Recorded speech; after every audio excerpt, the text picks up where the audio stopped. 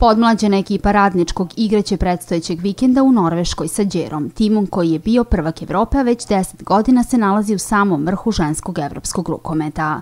Prema rečima trenera Aleksandra Radosavljevića, bit će to odlična prilika da se odmere snage, a mlade rukometašice steknu međunarodno iskustvo. Pripremamo se za tu utakmicu, pokušavamo normalno da se mi pripremimo što bolje.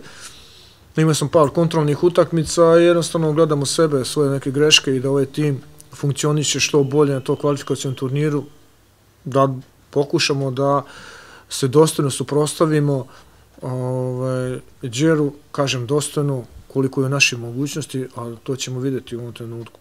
U klubu navode da su rukometašice spremne da što kvalitetnije odigraju utakmicu, uz napomenu da je zbog obaveza na univerzijadi u Kini pripremni period trajao kraće.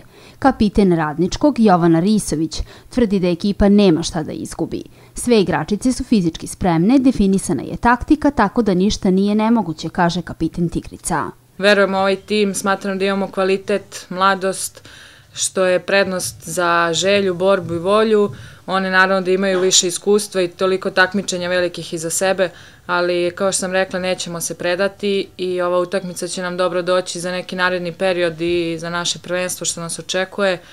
Pa i u tom kupu kupova ako ostanemo da doguramo što dalje, tako da mislim da će nam stvarno ova utakmica protiv Đera mnogo značiti.